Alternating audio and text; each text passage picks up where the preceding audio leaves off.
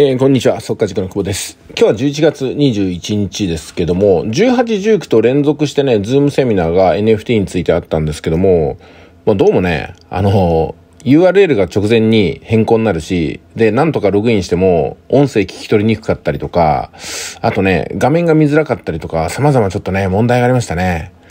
いや、ちょっと残念でした。これはちょっと次回への改善項目としてね、連絡させていただきますので、まあ、次はね、えー、かなりいいものになることを期待していただきたいと思います。まあ私の方がね、あの、広島で主催した時はパリッとしたもんになったんですけども、えー、今回は私がいなかったからね、大したことにならなかったって言ったら言い過ぎかもしれませんけども、いろんな状況がありますので、そこはご容赦いただければと思います。まあ私が主催する場合は、あの、やっぱりね、得意な分野ですしね、皆様にしっかりとしたものをお伝えしたいと思いますんで、今後ともよろしくお願いします。で、今回はね、メタマスクの件です。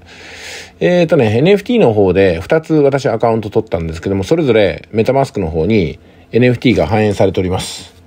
えー、ご覧いただきますね。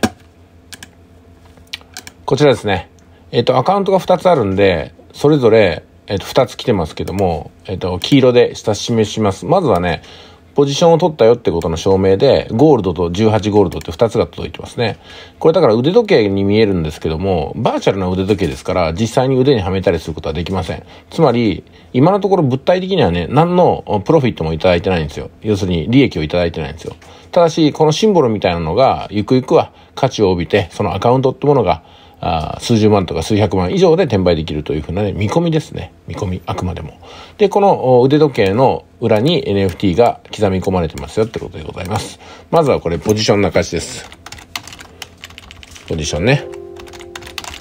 はい、次なんですけども、ちょっと気になる MMJ って書いてるでしょ？うん、MJ か。MJ って書いてあるのが気になりますけどもね、これね、マイケル・ジャクソンですよ。ね、マイケル・ジャクソン。トレジャーボックス。こちらの方に、ナンバ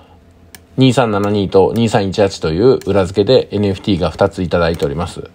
これがどんなものになるのかまだわかりませんが、マイケル・ジャクソンの NFT が2つ確保されたというのがね、私のそれぞれのポジションで起きたことでございます。で、最後は NFT 美術館です。ナルト美術館っていうのがありますけどもね、四国に。こちらの入場券が私の場合は2つ手に入りました。ポジションが2つありますんでね。まあ、ですんで、これによって、えー、ナルト美術館に私はね、永遠に行けるってことになります。で、この美術館の入場券自体も販売できるんですけども、今単体で売られてる金額としては6万6千円らしいですよね。まあ年間パスポートの、障害パスポートのね、ってやつですかね。年間どころか。2つありますので、まあ私の場合は家族で使えるかなと。ただやっぱりね、NFT、ナルト美術館にうん、行く予定今んとこないんですよ。すいませんけどもね。あの、行かれた方はまたレポートしていただければ幸いでございます。という感じで、えー、メタマスクの中に NFT の実際の商品が入ってまいりました。で、これを今後、転売することもあり得ると思いますし、このままずっと持っていても、例えばこのゴールドっていうのはね、毎月毎月安定収入をもたらしてくれてるんですよ。まあ、あの、先月は百数十万入ったってお話をしましたけども、今月も100万を超えるとは言いませんけど、数十万規模で入ってくるんではなかろうかと思って、25日のね、振込日を楽しみにしてるわけなんですが、えその他あ、コミッションといいますかね、グループ全体の売り上げの5%ですかね、これを、この18ゴールドを持ってる数十人で分配することになりますので、こちらのインパクトもちょっと大きいのかなと思います。特に今月そこそこね、売り上げ出てると思いますんでね。うん。